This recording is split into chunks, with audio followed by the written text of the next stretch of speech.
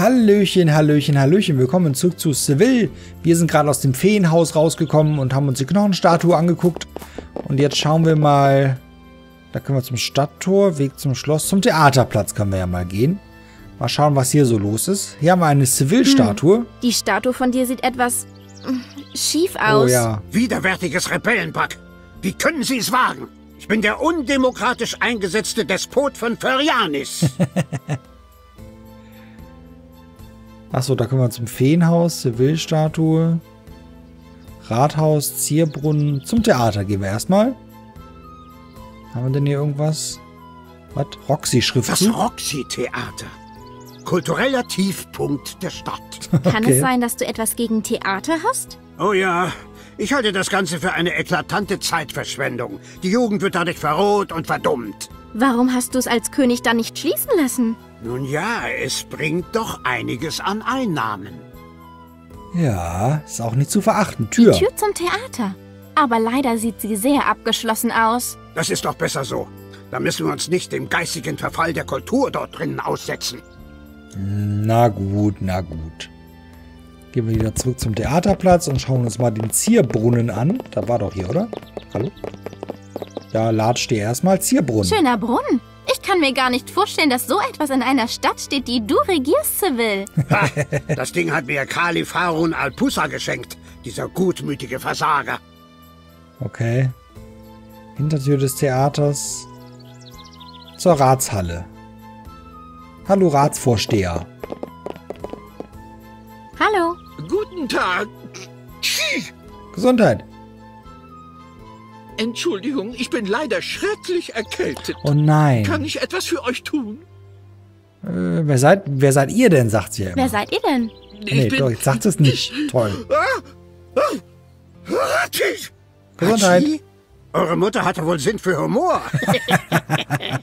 Nein, nein, ich bin der Ratsvorsteher. Meine Aufgabe ist es, die Ratsversammlungen zu leiten, die im Sinne aller Bürger von Ferianis für eine bessere Zukunft sorgen. Hört Okay. sich toll an. Das hört sich bescheuert und nach typischer dümmlicher Demokratie an.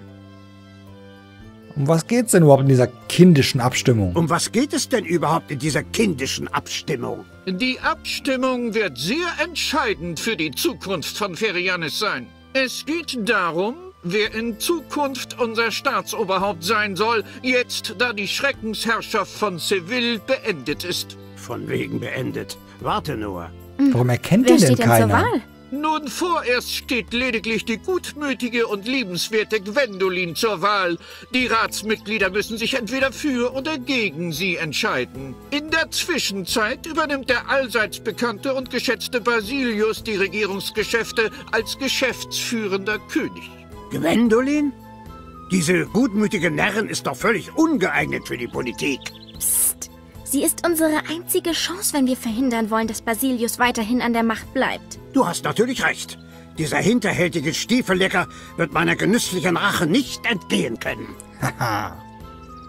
Ihr hört euch schrecklich erkältet an. Ihr hört euch schrecklich erkältet an. Geht es euch nicht gut? Ich habe mir in der Tat eine Erkältung zugezogen. Gesundheit. Es tut einfach nicht gut, hier draußen in der Kälte zu stehen. Aber ich muss bereit sein für die nachfolgende Ratsversammlung. Niemand zwingt euch hier töricht in der Kälte zu stehen. Das ist theoretisch richtig.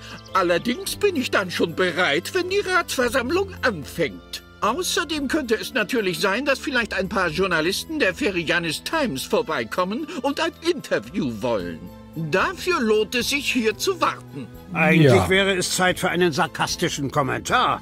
Aber ich denke, die Worte sprechen für sich. Worum geht es gleich wieder? Hat die Ratsversammlung schon Hat die begonnen? Ratsversammlung schon begonnen? Nein, erst wenn die Glocke erklingt und alle Ratsmitglieder einberuft. Okay. Kann ich irgendwas für euch wegen der Erkältung tun? Kann ich irgendetwas für euch wegen der Erkältung tun? Wenn du nicht gerade etwas gegen eine Erkältung bei dir hast, dann kannst du wenig tun. Okay. Wir, Wir müssen müssen weiter. leider weiter. Bis bald. Gehabt euch wohl. Ja. Tschüss. Schwarzes Brett. Verschiedene Bekanntmachungen aus der weiten Ferianis-Welt. Der kleine Timmy hat seinen Hund Sassy verloren. Oh. Das ist das ehemalige Ratshallengebäude. Seit ich die unsägliche Demokratie abgeschafft habe, ist es aber nur noch ein riesiger Staubfänger. Okay. Gehen wir mal zurück zum Theaterplatz. Also warten, bis sie da hingegangen sind. Dann kommen wir noch zur Hintertür des Theaters, Ratshalle, Aussicht auf den Hafen. Der Hafen. Wir könnten mit einem Schiff fliehen. Ja. Hm, beim letzten Streik der Matrosenvereinigung habe ich alle Gewerkschaftsvertreter einsperren lassen. Oh, Die sind wohl nicht gut, auf mich zu sprechen. nein, Du aber sie weißt ja erkennen dich wirklich, nicht. wie man sich Freunde macht, oder? Hintertür des Theaters. Ein Wahrsagomat. Apparat, der einem die Zukunft vorhersagt. Allerdings benötigt man dafür eine Goldmünze. Wir haben eine Kupfermünze. Wieso denn bloß? Weiß ich nicht. Die Tür ist abgeschlossen. Verdammt. Aber es hat den Anschein, als ob der Schlüssel von innen stecken würde. Das ist ja unheimlich nützlich. Gibt es dann eigentlich hier auch Türen, die einfach unverschlossen sind? Das wäre schön, wenn es so etwas gäbe. Werbeplakat. Bald auf dieser Bühne zu sehen, die großartige Halo. Halo. Sagt mir überhaupt nichts. Theater ist ohnehin nur etwas für Leute, die nichts Wichtiges zu tun haben. Okay. Aber hier ist sonst nix. Jetzt warten wir wieder, bis sie da an... Ach nee, wir können es wegklicken, okay. So, das Theater ist zu. Zivilstatue, Feenhaus. Können wir eigentlich hier weitergehen, in diese Richtung? Oder ist hier nur das Feenhaus? Nein, okay, das scheint... Ah! Streichle Katze! Die sieht man kaum. Da ist aber eine Katze. Miau. Oh, die faucht. Das ist eine Piratenkatze. Du widerlich garstiges Biest! Ich wollte die streichen, nämlich das Wollknäuel weg. Okay, da faucht sie auch. Aus! Aber ich habe eine Idee, vielleicht mit dem Fisch. Das habe ich mit dem Wollfaden benutzt. Komm mit, Mietz. Feines Fressi, Fressi. Geht aber trotzdem. Haha. Seville, du bist ja ein richtiger Tierfreund. Moment, du hast dem Fisch nichts beigemischt, oder? Und du all deine Nein. famosen Pläne nur immer zu spät äußern musst. So, Wollknäuel. Was auch immer wir damit machen wollen. Aber wir haben es jetzt. Wollen wir jetzt die Katze streicheln? Nee. Wir haben dir was zu essen gegeben, Autsch. du gemeine Katze. Gemeine Katze.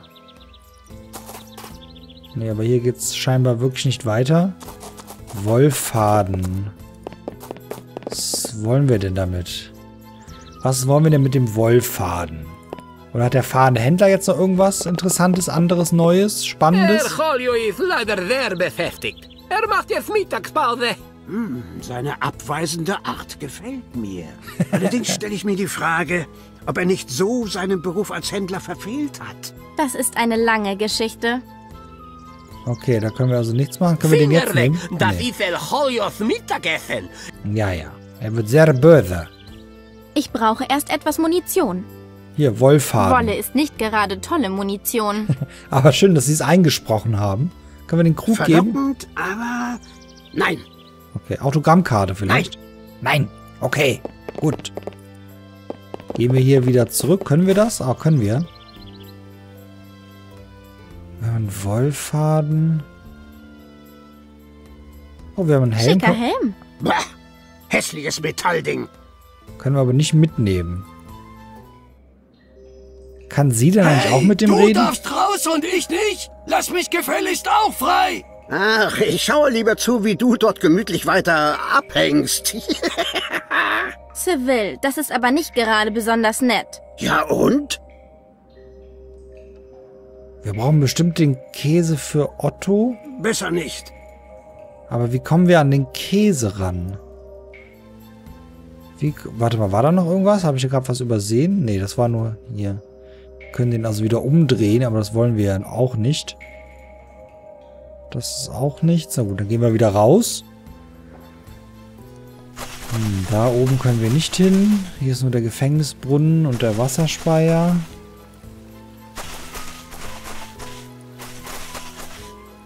Könnt ihr auch ein Stück weiter gehen, dass ich nicht jeden Pixel hier neu anklicken muss. Das wäre super. So, zur Kreuzung. Pferd. Ein Pferd. Ich verspüre den Drang, ihm eine Geschichte aus meinem Buch vorzulesen. Zum Glück habe ich keins. Was würdest du auch mit seinem Gebiss anfangen? Was?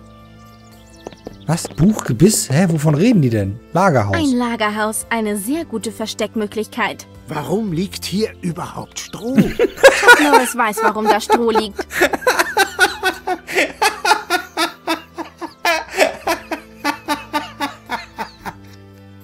Wie geil, dass die sowas drin haben. Warum liegt Qualität überhaupt ist Stroh? geiler. Und Chuck Norris weiß, warum da Stroh liegt. sehr geil, sehr geil. ich mag das Spiel. Ich mag es. Ich mag es. ja. Können wir vielleicht hier dem Bier geben? Lieber nicht. Also ist ja nur Wasser. Hallo, ihr. Hallo. Hallo.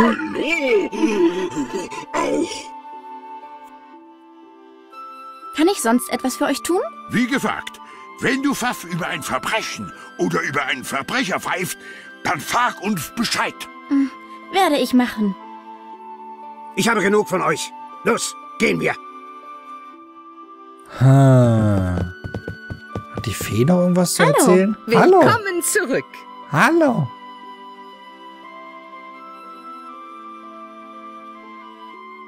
Du bist ein Mitglied des Rates? Aber natürlich, Haze. Ich Wir müssen leider... bis bald. Bis bald. Nehm ich Blume. Raus. Raus. Oh, jetzt machen wir mal so eine, diese Kameraeinstellung. Oh, da, ah, Mann, da sind so Sachen, die sehe ich nicht beim Hinübergehen. Da brauche ich dann schon mal die Leertaste für. Oh, eine reife Tomate. Krass, wie soll man das denn finden? Warum sammle ich denn hier die ganzen, dieses ganze, ganze Obst? Ich verstehe nicht. Haben wir hier noch was übersehen? Katze Weg zum Theater, großer Pilz. Riesige Pilze.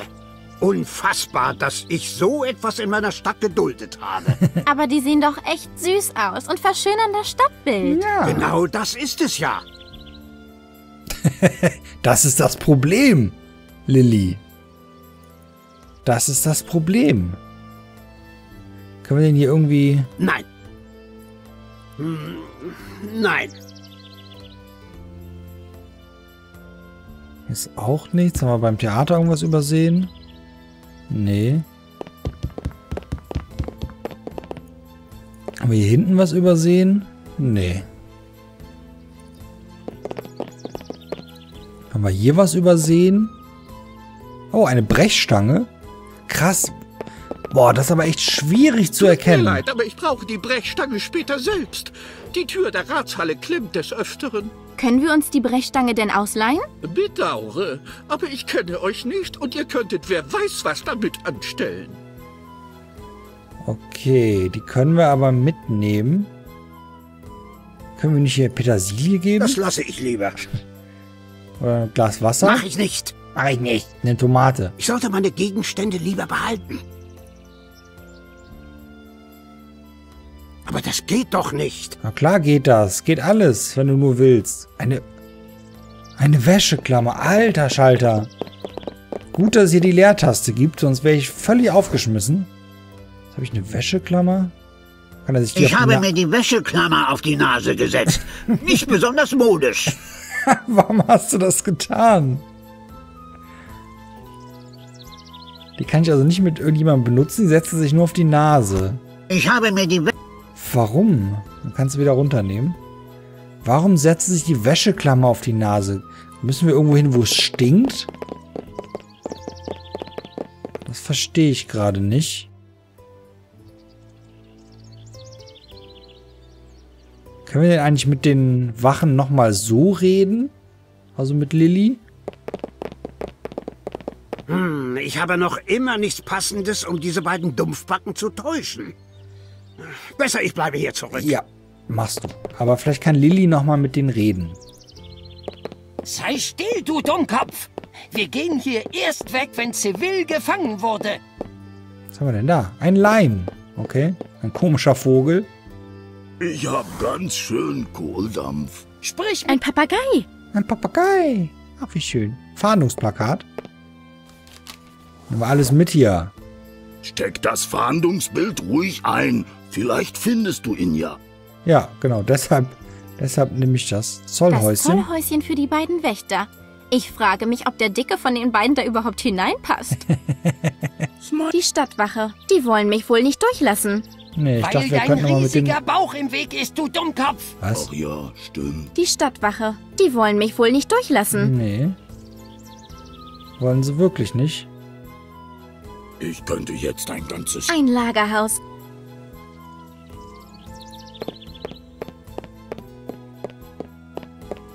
Weißt du zufällig, was mit dem... A Okay, Fahndungsplakat. Das Fahndungsplakat ist nun äußerst klebrig. Okay. Ich habe die Autogrammkarte aufgeklebt. Wie herrlich bösartig. Ah, geil. Und das zeigen wir jetzt diesen, diesen Schurken, die gut werden wollen. Haha, ich freue mich, dass ich was gelöst habe. Und bin sehr gespannt, wie es jetzt weitergeht.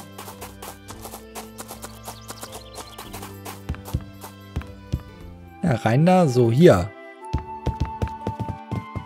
Schaut euch das mal an. Die ist entflohen.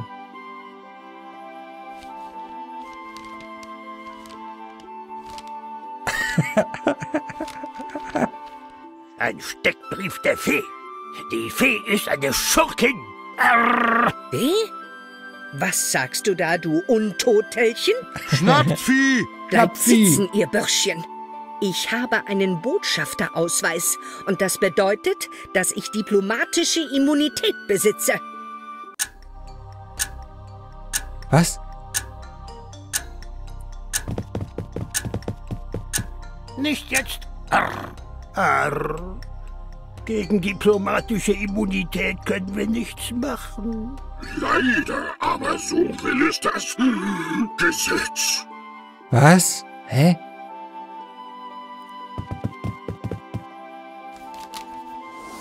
Da habe ich wieder fünf Sekunden Zeit für irgendwas. Aber ich weiß nicht für was. Ein Steck. Schnappt! Ich habe nach wie vor...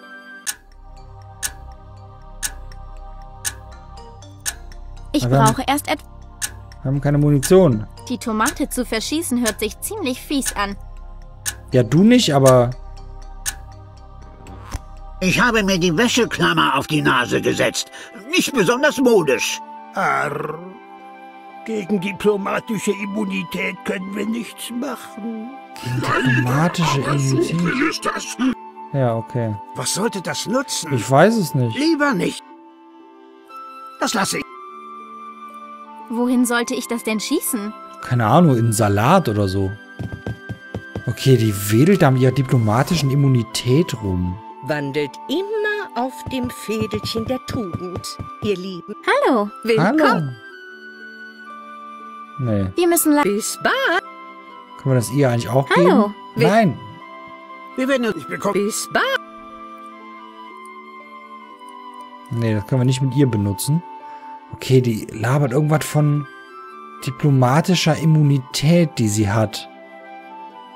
Seid mutig, meine Schülerchen. Und da können die wisst nichts ja, gegen Furcht tun. ist der Pfad zur bösen Seite.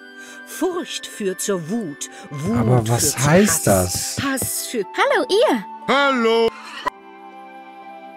Ich habe Was heißt das? Was, was will uns das sagen? Haben wir hier was übersehen? Nicht so wirklich. Pinnwand. Ja, Pinnwand. Abscheulich friedfertige Bilder sind hier aufgehängt. Süß. Über Geschmack lässt sich streiten. Okay, wenn wir das denen geben. Dann musst du dich eben ins Zeug legen. Ein Wie? Schnappt Vieh! Ich habe Jetzt habe ich 20 Sekunden Zeit. Eben waren es 5.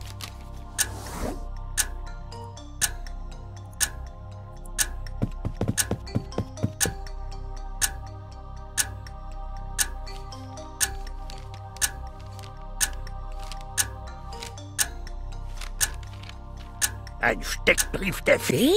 Schnappt! Ich habe... Arr. Leider, aber so. Hä. Was machen wir denn dann? Oder kommen wir da irgendwie an das Pult ran in der Zeit? Ein Steck? Schnappt! Ich habe... Na Ein gewöhnlicher Schreib. Abscheulich gut. Aber ich bezweifle, dass... Hm. Das scheint mir weh. Ich habe den Wollfaden an die Münze gebunden. Was? Warum denn? Was? Geizhalsfalle? Arr. Okay. Der Geizhalsfalle können wir vielleicht das Ratsmitglied irgendwie weglocken? Oder einen der Wachen? Ich werde es in der nächsten Folge mal ausprobieren. Ich danke euch fürs Zusehen. Ich hoffe, ihr hattet viel Freude, Freude und bis zum nächsten Mal bei Seville. Macht's gut. Tschüsschen.